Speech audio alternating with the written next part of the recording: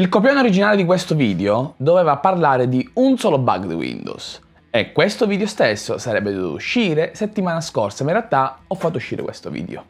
Quindi adesso parliamo, come avete già detto dal titolo, di due bug di Windows. Uno è più recente e sarà a più presto risolto da Microsoft, invece l'altro è un po' più vecchiotto e a quanto pare continua a persistere. Dunque, il primo bug di Windows di cui vi voglio parlare riguarda il trasferimento di file. Ora, che Windows abbia uno o due bug è una cosa risaputa, è sempre avuto bug. Tuttavia, un bug che riguarda il trasferimento di file è una cosa, dal mio punto di vista, piuttosto insolita. Perché la copia di un file è un'operazione così fondamentale in un sistema operativo che dal mio punto di vista non sarebbe dovuta cambiare dai tempi di DOS. Eppure non è così, evidentemente avranno fatto qualche cagata. E adesso andiamo a vedere di cosa si tratta. A inizio ottobre di quest'anno gli utenti di Windows che avevano installato la 2022 update di Windows avevano riscontrato un rallentamento nel copiare i file presi da un computer remoto all'interno della stessa rete locale e questo bug si verificava soprattutto quando venivano copiati file di grosse dimensioni Ora, non è ben chiaro cosa si intenda per file di grosse dimensioni, ma si parla di file di alcuni giga. Ora, per chi non lo sapesse, Windows per gestire i file condivisi all'interno di una rete remoto utilizza quello che si chiama il protocollo SMB.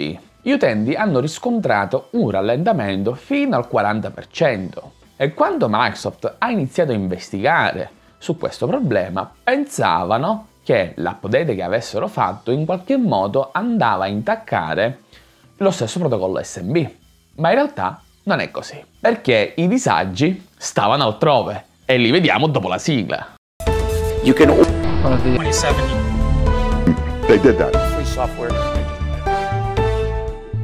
Benvenuti e ben ritrovati pinguini in questo nuovo video di FK Breaking News, io sono Valerio e oggi parliamo di due bug di Windows, ma prima di cominciare vi vorrei ricordare come al solito di iscrivervi al canale e di cliccare la campanellina così da non perdervi gli altri contenuti che porto su questo canale. E inoltre se volete seguitemi su Instagram, qui troverete il mio tag dove porto anticipazioni di video che poi alla fine saranno pubblicati su questo canale. E quindi non perdiamoci in chiacchiere e andiamo a vedere qual era il bug sul trasferimento dei file. Microsoft ci ha lavorato in queste settimane. E dopo essersi rilassati perché c'è stato il weekend del ringraziamento, hanno trovato il bug, che sarà rilasciato al più presto in una nuova update di Windows, che come tutte le update di Windows sistemerà questa e ne sfascerà un'altra. Ovviamente a noi non è dato sapere esattamente qual era il bug, ma lo sviluppatore di Microsoft NetPile ha specificato che questo bug si verificava in qualunque tipo di trasferimento di file, non solo quelli presi da un computer remoto all'interno di una rete locale, anche quando venivano trasferiti file di grossa dimensione all'interno dello stesso computer. E quindi, quando hanno scoperto che questo difetto si verificava sempre, hanno detto il bug non sta nel protocollo SMB. E dove sta?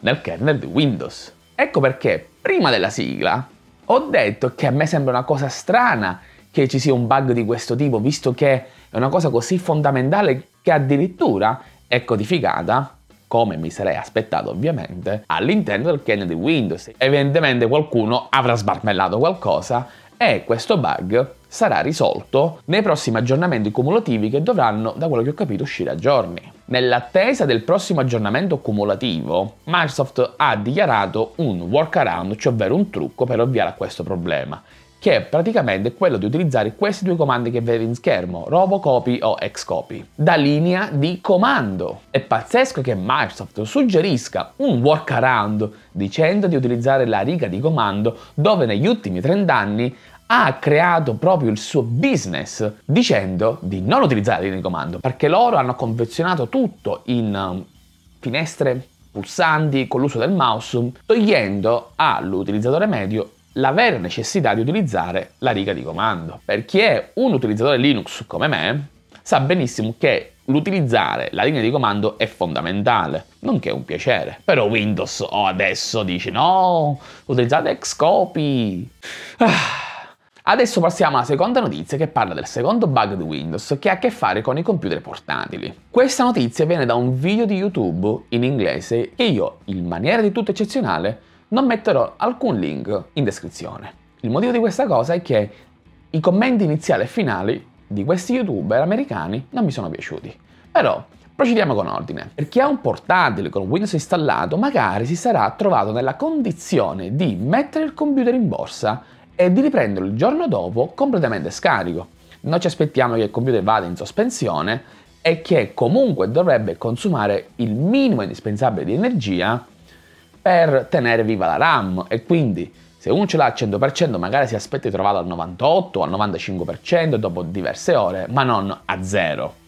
E molti riscontrano anche che i portatili che sono stati messi in borsa e vengono poi ritirati fuori sono bollenti. Questi youtuber hanno fatto diverse prove. Il problema sta nel fatto che Windows insieme agli sviluppatori di processori hanno messo a punto un nuovo tipo di sospensione che non solo mantiene la RAM alimentata ma tiene anche acceso il processore è la scheda di rete. Questo lo si fa perché consumando quel po' di più di energia elettrica permette al computer di eseguire alcune task fondamentali tipo ricevere email che per molti di noi, me compreso, è fondamentale. Ora io non ho un computer portatile Windows ma ho un Mac che ha la stessa funzionalità e ha anche lo stesso problema. A me capita di metterlo in borsa e poi lo tiro fuori ed è completamente scarico, anche se personalmente non ho mai riscontrato un aumento della temperatura. Windows e Mac hanno lo stesso bug? Non penso proprio. Focalizziamoci su Windows. Il bug trovato da questi youtuber, dopo diverse prove che hanno fatto, sta nel fatto che quando il computer non è collegato alla rete elettrica col caricatore, quando viene chiuso lo schermo, va in sospensione più o meno quella classica. Praticamente Windows gestisce due tipi di sospensione nel momento in cui viene chiuso lo schermo. Quando non è collegata la rete elettrica, ovvero l'alimentatore, e quando invece è collegato all'alimentatore. Quando è collegato all'alimentatore e viene chiuso lo schermo, la modalità in cui va Windows in sospensione si chiama S0, che permette anche di avere in memoria Windows Update. Tuttavia, a molti di noi può capitare di avere il computer chiuso attaccato alla rete e poi per esigenze di lavoro magari ce ne dobbiamo andare. E quindi stacco il computer dalla rete elettrica e me lo porto. Quando viene staccato il computer dalla rete elettrica, Windows non riconosce che c'è stato questo stacco e continua ad avere tutti i processi che quella modalità S0 di sospensione prevede. E quindi fondamentalmente quando in quella modalità anche di consumi ridotti si collega a internet e esegue i task di Windows Update che tengono sempre la, la CPU occupata causando un consumo di energia elettrica eccessivo, che alla fine si traduce nel ritrovare lo scarico dopo diverse ore. I commenti che hanno fatto YouTube da cui ho preso queste notizie perché dico che non mi sono piaciuti? Sia all'inizio che alla fine del loro video dicono Ah, noi siamo tre anni che diciamo a Microsoft di questo bug e allora loro ci stanno ignorando, quindi noi non avremo più recensioni di portatili Windows. Allora, voi avete un canale che fa questo, quindi secondo me dovreste continuare a farlo.